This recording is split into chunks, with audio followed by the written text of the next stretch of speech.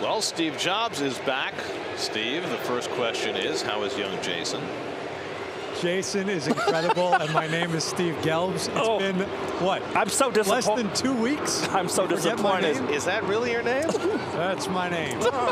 now, what kind of music do you think we're playing on this boat? Obviously, we, we don't have the audio capability to be able to find out, but just, just from the, the nature of the, the dance steps, what do, you, what do we think that is? Uh, well, I know those two gentlemen don't have a chance.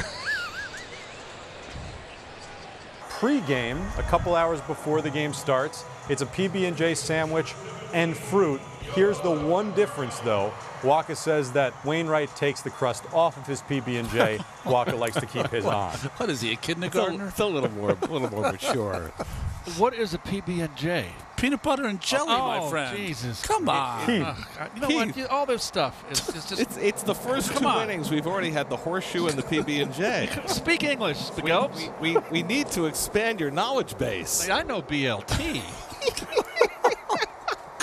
Gosh. I've never heard of. I've never heard of peanut butter I mean, jelly you- sandwich. Just I mean, you like have that. you have grandkids, right, Keith? No, they're. You know what? I remember they're they're out west. They're, I don't see it. I don't hardly see them. there's, there's no PB and J west of uh, west of Illinois. Is that how that works? I've never heard that before. Well, obviously, I'm Keith's like- never fed his grandkids. I'm getting out of touch. That's funny. It's a beautiful night, isn't it? oh, it's gorgeous. What a beautiful day it was.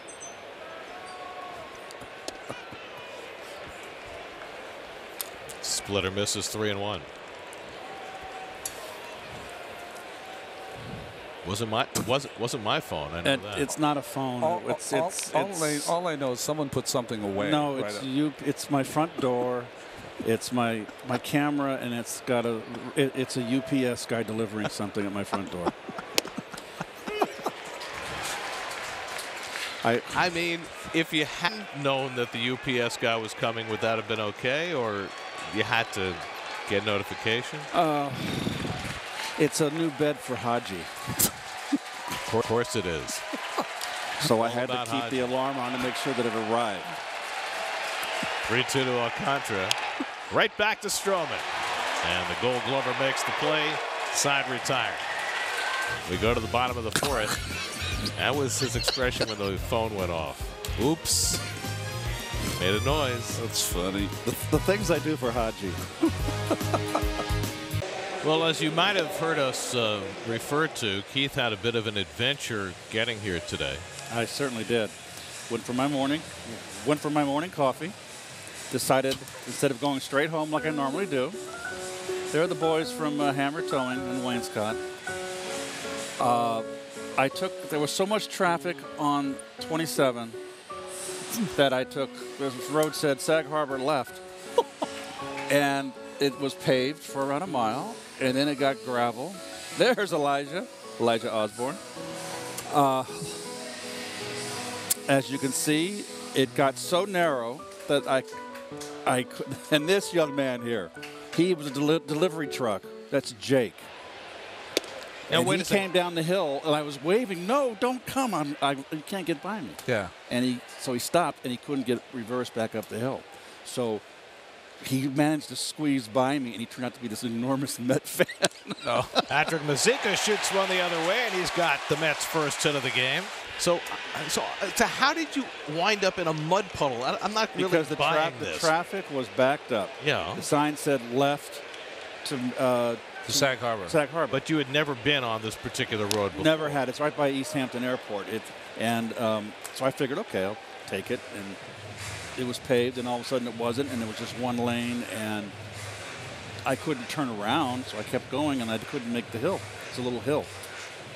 And so I called my friend. I said, he called Elijah, and Elijah came around an hour later, and they got us out. Um, I was not happy. Had you had your morning coffee at this point? I'd had my morning coffee. And uh, the thing is, too, out there, there's a lot of blind spots on your phone. I was lucky there wasn't a blind oh. spot. I was able to get on the phone and call for help.